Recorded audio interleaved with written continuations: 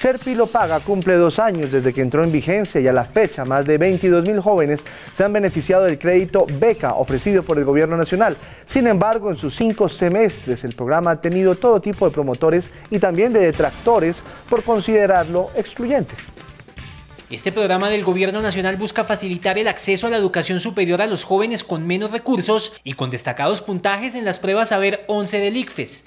El proyecto fue iniciado en 2015 en cabeza de la exministra de Educación Gina Parodi y otros profesionales de distintas universidades del país. En ese momento yo entendí que la responsabilidad social que yo tenía era dar las mismas oportunidades que yo había recibido y, las que me habían cambiado la vida a mí, era la oportunidad de, venirme de la provincia a la ciudad, a estudiar una universidad y abrirme un nuevo mundo.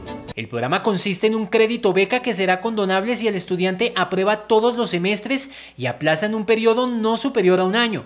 Serpilo Paga ha generado debates y controversias en varios sectores políticos. Estudiante que no se apilo es una especie como de indeseable, de vago, que no merece tener las garantías que debe tener cualquier ciudadano. Yo fui profesor 26 años. Si en algo hay que ser considerado sea con el trato a los muchachos.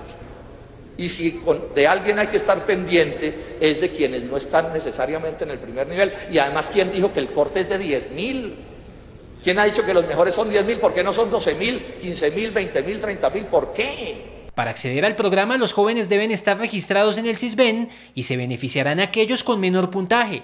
Sin embargo, para evaluar la efectividad de ser Paga es necesario esperar a la graduación del primer grupo que ingresó a las universidades durante el primer semestre de 2015.